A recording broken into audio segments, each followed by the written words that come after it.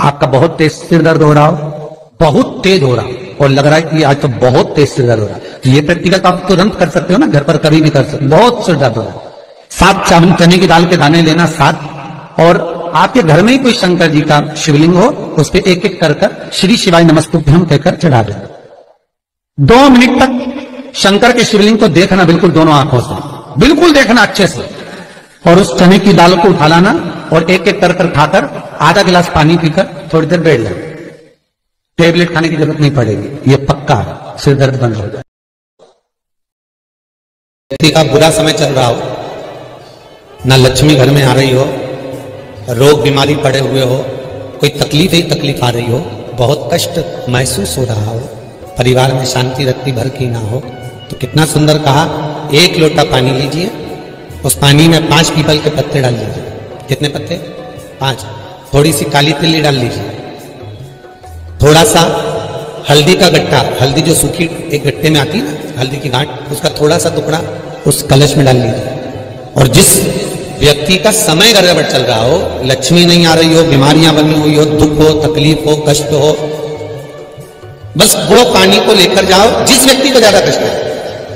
और पानी ले जाकर शंकर जी के ऊपर वो चढ़ा दीजिए। और जब शिव जी पे जल चढ़ जाए, वो पाँच जो पत्ते आपने बेल उसके पीपल के डाले हैं, उस पीपल के पत्ते को उठाकर वापस अपने ऊपर जल का सींचन कर लीजिए महाराज।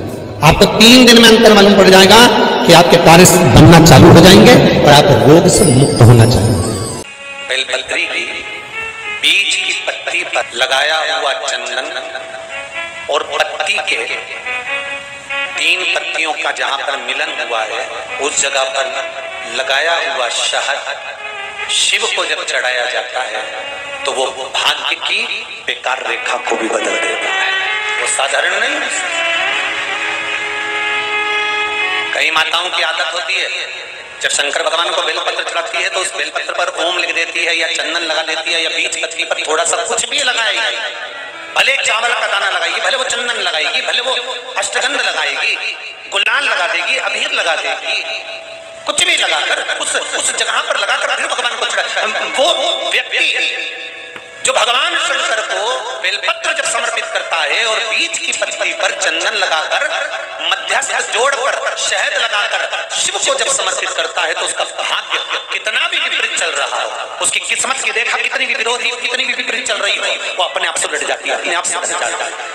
उसको सुधारने के लिए कोई दूसरा नहीं आता।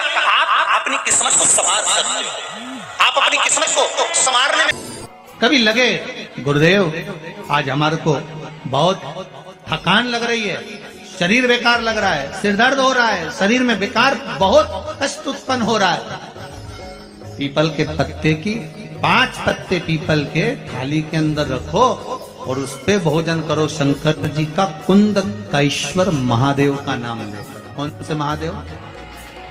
एक बार जम के बोलिए कुंद कैश्वर कुंद कैश्वर महादेव का नाम लेकर भोजन करना प्रारंभ करो। 15 से 20 मिनट लगते हैं, हमारे टेबलेट खाने की ज़रूरत नहीं पड़ती, सिर दर्द बंद शरीर कितना भी दुख रहा हो, उसमें आराम लगना प्रारंभ हो जाए कुंद कैश्वर महादेव का नाम सुख की अनुभूति कराता है शरीर के रोग को मिटाने का तुलसी के क्यारे के पास में एक छोटी सी कटोरी रखकर घर का कोई भी व्यक्ति, चाहे महिला हो, पुरुष हो, पुत्र हो पुत्र वधु हो, बच्चे हो, कोई भी,